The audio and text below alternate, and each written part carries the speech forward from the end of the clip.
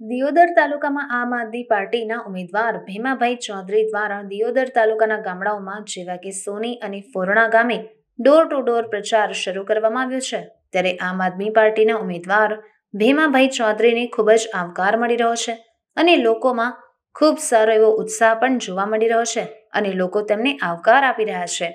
ત્યારે આવનારી વિધાનસભાની ચૂંટણીમાં દિયોદર સીટ પર આમ આદમી પાર્ટીના ઉમેદવાર વિજેતા બને તેવા એંધાણ વર્તાઈ રહ્યા છે.